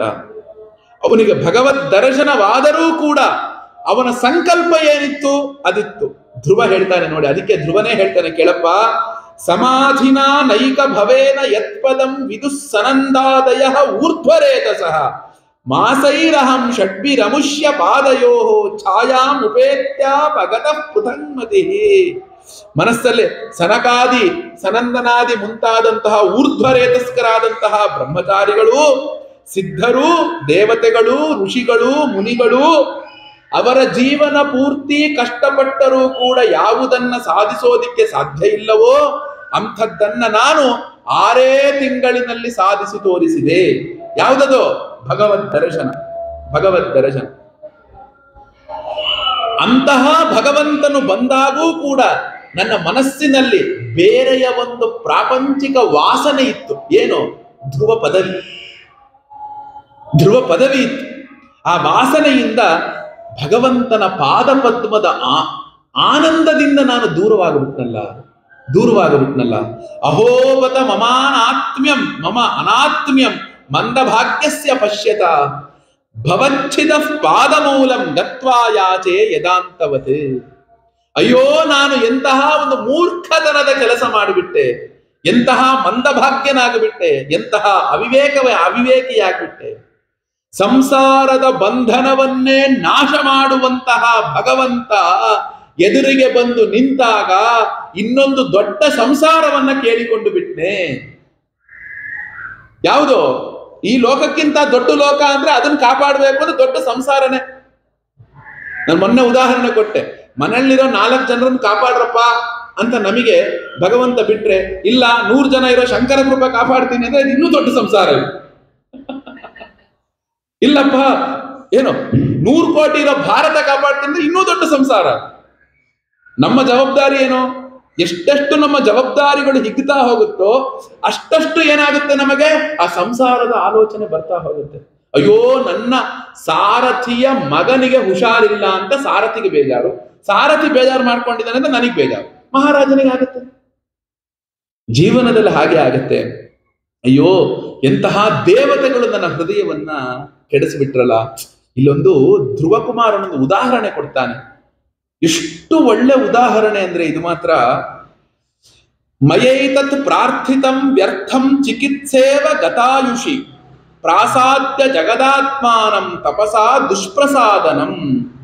ಭವಚ್ಛಿದ ಮಯಾಚೇಹಂ ಭವಂ ಭಾಗ್ಯ ವಿವರ್ಜಿತ. ಸ್ವಾರಾಜ್ಯಂ ಯಚ್ಛತೋ ಮೌಢ್ಯಾನ್ ಮನೋ ಮೇ ಭಿಕ್ಷಿತೋ ಬತ ಈಶ್ವರಾತ್ ಕ್ಷೀಣ ಪುಣ್ಯೇನ ಫಲೀಕಾರ ನಿವಾಧನ. ಎಂಥ ಮಾತು ನೋಡಿ. ಅಯ್ಯೋ, ಹೇಗೆ ಒಂದು ಆಯುಷ್ಯ ತೀರಿ ಹೋದ ನಂತರ ಚಿಕಿತ್ಸೆ ಹೆಂಗೆ ಮತ್ತೆ ಫಲಕಾರಿ ಅನ್ನುವಂಥದ್ದು ಆಗೋದಿಲ್ವೋ? ಯಾರನ್ನ ಪ್ರಸನ್ನಗೊಳಿಸೋದೇ ಅತ್ಯಂತ ಕಠಿಣವೋ? ಅಂಥವನನ್ನ ನಾನು ಬಹಳ ಬೇಗ ಮೆಚ್ಚಿಸಿದವನಾದ. ಆ ಮೆಚ್ಚಿಸಿ ಅವನಿಂದ ಕೇಳಿದ ಫಲ ಚೂರೆ ಆಗೋಯ್ತಲ್ಲ ಚೂರೆ ಆಗೋಯ್ತಲ್ಲ. ಪ್ರಭು, ನಾನು ಎಂತಹ ಭಾಗ್ಯಹೀನನಾಗಿದ್ದೀನಪ್ಪ. ಸಂಸಾರ ಬಂಧನವನ್ನೇ ಬಿಡಿಸುವಂತಹ ಪ್ರಭುವಿನಿಂದ ಮತ್ತೆ ಒಂದು ಸಂಸಾರವನ್ನೇ ಕೇಳ್ಕೊಂಡು ಬಿಟ್ನಲ್ಲ, ಸೇರ್ಕೊಂಡು ಬಿಟ್ನಲ್ಲ. ನಾನು ಯಾವುದೋ ಒಂದು ಕೆಲಸವನ್ನ ಮಾಡ್ತೀನಿ, ಒಬ್ಬ ಸಾರ್ವಭೌಮ ಮಹಾರಾಜ ಅತ್ಯಂತ ತೃಪ್ತಿಗೊಂಡು ಬಿಡ್ತಾನೆ. ಏನ ತೃಪ್ತಿಗೊಂಡಿದ್ದೀನಿ ಕಣ, ನೀನ್ ಏನಾದ್ರೂ ಕೇಳ. ಏನಾದ್ರೂ ಕೇಳು, ದೊಡ್ಡ ಕ್ಷಿತಿಪತಿ ಅಂದ್ರೆ ಮಹಾರಾಜ ಅಂತ ಧ್ರುವ ಹೇಳ್ತಿರೋ ಉದಾಹರಣೆ ನೋಡಿ. ದೊಡ್ಡ ಕ್ಷಿಧಿಪತಿ ಮಹಾರಾಜ, ನಾನು ಮಾಡಿದ ಕೆಲಸಕ್ಕೆ ಮೆಚ್ಚಿ ಏನಾದ್ರೂ ಕೇಳ್ಕೊಳ್ಳೋ ಅಂತ ಅವನು ಹೇಳ್ತಾನೆ ಅಂತ ಅನ್ಕೊಳ್ಳಿ. ಆಗ ನಾವು ಅವನ ಮುಂದೆ ನಿಂತು, ಮಹಾರಾಜ, ನಂಗೊಂದು ಮುಷ್ಟಿ ಅಕ್ಕಿ ಕೊಟ್ಬಿಡಿ ಸಾಕು ಅಂತ ಕೇಳಿದ್ರೆ ಹೇಗಾಗುತ್ತೆ? ಒಂದು ಮುಷ್ಟಿ ಅಕ್ಕಿ ಏನಾಗುತ್ತೆ? ಪಾಪ ಅವನಾದ್ರೂ ಒಂದು ಮುಷ್ಟಿ ಅಕ್ಕಿ ಕೇಳ್ದ. ನಾವ್ಯಾರು ನಿಂತಿದ್ರೆ, ಮಹಾರಾಜರೇ, ಮೂಗು ತುಪ್ಪ ಕಡಿದಿದೆ, ಒಂದು ಚುಟ್ಟಿಗೆ ನಶ್ಯ ಕೊಡಿ ಅಂತ ಕೇಳ್ತಾ ಇದ್ವಿ ನಾವು. ಯಾಕೆ ವ್ಯರ್ಥ? ನಮ್ಮ ಜೀವನವೇ ಹಾಗೆ. ಅಂತ ಅಖಿಲಾಂಡ ಕೋಟಿ ಬ್ರಹ್ಮಾಂಡ ನಾಯಕನಾದಂತಹ ಆ ಭಗವಂತನ ಮುಂದೆ ನಿಂತು ನಾವು ಏನ್ ಕೇಳ್ತಿದ್ದೀವಿ? ಭಗವಂತ, ನನ್ನ ಮಗಳಿಗೆ ಜಾಸ್ತಿ ಮಾರ್ಕ್ಸ್ ಬಂದ್ಬಿಡ್ಲಪ್ಪ. ಭಗವಂತ, ನನ್ನ ಹುಷಾರ್ ಹುಷಾರಾಗ್ಬಿಡ್ಲಪ್ಪ. ಭಗವಂತ ನನ್ನ ಉದ್ಯೋಗದಲ್ಲಿ ಚೆನ್ನಾಗ್ ಆಗ್ಬಿಡ್ಲಪ್ಪ ಭಗವಂತ, ನನಗೊಂದು ಇದನ್ನ ಕೊಟ್ಬಿಡಪ್ಪ. ಇದು ಒಂದು ಕೊಟ್ಬಿಡಪ್ಪ. ಇದು ಒಂದು ಕೊಟ್ಕೊಂಡು ಕೊಟ್ಕೊಂಡೆ ಕೊಟ್ಕೊಂಡೆ ನಿಮ್ಗೆಲ್ಲ ಎಂಬತ್ತು ವರ್ಷ ಆಗಿದೆ. ಯಾವತ್ತು ಒಂದು ಬಿಟ್ಟಿದೆ ಹೇಳಿ ನೋಡ ನೀವು. ಇದೇ ಕೊನೆ, ಇದೊಂದು ಕೊಟ್ಬಿಡಪ್ಪ, ಇದೊಂದು ಕೊಟ್ಬಿಡಪ್ಪ. ಆ ಒಂದು ಕೊಟ್ಬಿಡಪ್ಪ ಅನ್ನೋದ್ರೊಳಗೆ ಇನ್ನೊಂದು ರೆಡಿ ಆಗಿದೆ. ಆ ಒಂದು ಕೊಟ್ಟು ಮೊನ್ನೆ ಒಬ್ರು ಮನೆ ಬಂದಿದ್ರು, ತೊಂಬತ್ತು ವರ್ಷ ಆಗಿತ್ತು ಆ ಮುದುಕಿಗೆ. ಆ ಹೆಣ್ಣು ಮಗಳಿಗೆ, ಮುದುಕಿಗೆ ತೊಂಬತ್ತು ವರ್ಷ ವಯಸ್ಸು. ನಾನು ಕೇಳಿದೆ, ಅವ್ರು ಸಹಜವಾಗಿ ಕೇಳಿದೆ ಹಿರಿಯರು ಬಂದಿದ್ದಾರೆ, ಮನೆಗೆ ಬಂದ್ರು, ಊಟ ಮಾಡಿದ್ರು, ನಮಸ್ಕಾರ ಮಾಡಿದ್ವಿ, ಎಲ್ಲ ಮಾಡಿದ್ವಿ. ಇನ್ನೇನು ಆಸೆ ಉಳಿದಿದೆ ನಿಮ್ಮ ಹೃದಯದಲ್ಲಿ, ಹೇಳಿ. ಅಂತ ನಾನು ಮಾಮೂಲಿಯಾಗಿ ಕೇಳಿದೆ. ಹಾಗೆ ಸುದರ್ಶನ ಅಂತ ಮಾತಾಡಿಸುವಂತಹ ಪ್ರೇಮ. ಸುದರ್ಶನ, ಇನ್ನೇನಿಲ್ಲಪ್ಪ. ಮೊಮ್ಮಕ್ಕಳಿಗೊಬ್ಳು ಮಗಳಿದ್ದಾಳೆ. ಅವಳ ಮಗಳಿಗೆ ಮಗಳು. ಅವಳ ಮಗಳಿಗೆ ಮಗಳು. ಅಜ್ಜಿಗೆ ಮೊಮ್ಮಗಳು. ಮೊಮ್ಮಗಳಿಗೊಬ್ಳು ಮಗಳಿದ್ದಾಳೆ. ಅವಳಿಗೊಂದು ದಾರಿ ಹತ್ತು ಬಿಟ್ರೆ ಸಾಕಪ್ಪ ಅಂದ್ಲು. ಕರ್ಮನೆ. ತನ್ನ ಮಗಳು ಅಲ್ಲ, ಆ ಮಗಳು ಮಗಳು ಅಲ್ಲ, ಆ ಮಗಳು ಮಗಳು. ಅಂದ್ರೆ ನಾಲ್ಕನೇವಳು ಅವಳು. ಅವಳು ಒಂದ್ ದಾರಿ ಹತ್ತಿ, ಅವಳ ತಲೆ ಅವಳ ತಲೆ ಮೇಲೆ ಒಂದ್ ನಾಲ್ಕು ಕಾಳು ಅಕ್ಷತೆ ಹಾಕ್ಬಿಟ್ರೆ ನನ್ನ ಜೀವನ ಸಾಕಪ್ಪ ಅಂದು ಏನ್ ಕರ್ಮರಿ ನಿಮ್ದು ಅಂದೆ ನಾನು. ನೇರವಾಗಿ ಹೇಳುದು ಈಗಲೂ ತೊಂಬತ್ತು ವರ್ಷ ಆದ್ರೂ ಕೂಡ ನಂಗ ರಾಮನೋ ಭಗವಂತನ ಜಪಮಾಲೆ ಕೊಡೋ ಸುದರ್ಶನ ಮಾಡ್ಕೊಂಡಿರ್ತೀನಿ ಅಂತ ಕೇಳದ್ ಬಿಟ್ಟು ಇನ್ನೂ ನನ್ನ ಮೊಮ್ಮಗಳ ತಲೆ ಮೇಲೆ ಮರಿ ಮಗಳ ತಲೆ ಮೇಲೆ ಅಕ್ಷತೆ ಕಾಳು ಹಾಕ್ಬೇಕು ಅಂತ ಆಸೆ ಪಡ್ತಾ ಇದ್ದೀರಲ್ಲ ನೀವು ಒಂದು ಇದೇ ನೋಡಿ ಭಗವಂತನ ಬುದ್ಧಿ ಕೆಡಿಸೋದು. ತೊಂಬತ್ತು ವರ್ಷ ಆಯುಸ್ಸು ಕೊಟ್ಟಿದ್ದಾನೆ ಅಂದ್ರೆ ಸಾಮಾನ್ಯದ ಆಯುಷ್ಯ ಆಯುಷ್ಯನಾದು, ಆ? ಮೂವತ್ಮೂರು ಸಾವಿರ ವರ್ಷ, ಮೂವತ್ಮೂರು ಮೂರು ಸಾವಿರ ದಿನಗಳು ಅವ್ರು ಭೂಮಿ ಮೇಲೆ ಭಗವಂತ ಕೊಟ್ಟಿದ್ದಾನೆ. ಮೂವತ್ತ್ ಮೂರು ಸಾವಿರ ದಿನಗಳನ್ನ ಕೊಟ್ಟಿದ್ದಾನೆ. ಆದರೂ ಇನ್ನೂ ನಮಗೆ, ಅಯ್ಯೋ, ಇನ್ನೂ ನನ್ನ ಮೊಮ್ಮಗಳನ್ನ ನೋಡ್ತೀನಿ, ಮರಿಮಗಳನ್ನ ನೋಡ್ತೀನಿ, ಇನ್ನೂ ನನ್ನ ಪರಸೊಳಗೆ ನನ್ನ ಪೆಟ್ಟಿಗೆ ಕೀ ಇಟ್ಕೊಳ್ತೀನಿ. ಎಂಥದ್ರಿ ಇದೆಲ್ಲ ಜೀವನ? ಧ್ರುವ ಕುಮಾರ ಹೇಳ್ತಿದ್ದಾನೆ, ಅಂತಹ ಅಖಿಲಾಂಡ ಕೋಟಿ ಬ್ರಹ್ಮಾಂಡ ನಾಯಕನಾದಂತಹ ಪ್ರಭು ಎದುರಿಗೆ ಬಂದು ನಿಂತಾಗ ಒಂದು ಮುಷ್ಟಿ ಮೋಕ್ಷವನ್ನ ಕೇಳೋದನ್ನ ಬಿಟ್ಟು ಒಂದು ಮುಷ್ಟಿ, ಒಂದು ಅಕ್ಕಿಯನ್ನ ಕೇಳ್ಬಿಟ್ನೆ. ಎಂಥ ದುರಭಿಮಾನ ಇದು. ದುರಭಿಮಾನ ದುಃಖ ಪಟ್ಕೊಳ್ತಾನೆ ಧ್ರುವಕುಮಾರ ಹೋಗ್ತಾನೆ. ಹೋದಾಗ ಅವನ, ಅವನನ್ನ ಅಪ್ಪ ಬಂದು ಬಿಗಿಯಾಗಿ ತಬ್ಬಿ ಹಿಡಿತಾನೆ. ನೋಡಿ, ಅಪ್ಪನು ಬಂದು ಧ್ರುವಕುಮಾರನನ್ನ ತಬ್ಬಿ ಹಿಡಿದಾಗ ಧ್ರುವಕುಮಾರನ ಅಪ್ಪ ಉತ್ತಾನ ಪಾದನಿಗೆ ಬ್ರಹ್ಮಾನಂದ ಆಯ್ತಂತೆ. ಯಾಕೆ ಗೊತ್ತಾ? ಆ ಧ್ರುವಕುಮಾರ ಯಾರವನು? ಭಗವಂತನ ಪಾದ ಪದ್ಮಗಳನ್ನು ಮುಟ್ಟಿ ಹೋದಂತಹ ಧ್ರುವಕುಮಾರ. ಅವನ ಶರೀರದಲ್ಲಿರುವ ಸಮಸ್ತ ಪಾಪಗಳು ಕೂಡ ಬೂದಿಯಾಗಿ ಹೋಗಿತ್ತು ಅಂತಹ ಧ್ರುವಕುಮಾರ. ಆನಂದ ಆಯ್ತಂತೆ. ನಂತರ ಸುರುಚಿ ಬಂದು ಧ್ರುವನ ಹತ್ರ ಮಾತಾಡ್ತಾಳೆ. ಅಪ್ಪ, ನಾನು ಏನೋ ತಪ್ಪು ಮಾತಾಡ್ಬಿಟ್ಟನಪ್ಪ ಆಗ ಧ್ರುವಕುಮಾರ ಹೇಳ್ತಾನೆ, ಅಮ್ಮ, ನಿನ್ನ ಮಾತಿನ ಫಲವಾಗಿಯೇ ಅಖಿಲಾಂಡ ಕೋಟಿ ಬ್ರಹ್ಮಾಂಡ ನಾಯಕನನ್ನ ನೋಡಿ ಬರ್ತಾ ಇದ್ದೇನೆ ನಾನು. ನೀನು ಅವತ್ತು ಆಡಿರ್ಲಿಲ್ಲ ಅಂದಿದ್ರೆ ಭಗವತ್ ದರ್ಶನ ಯಾಕಾಗ್ತಿತ್ತು ನೀನು ಆಡಿದ್ದೇ ಸರಿ ಹೋಯ್ತು. ಸುನೀತಿ ಬಂದು ಅಪ್ಪಿಕೊಳ್ತಾಳೆ.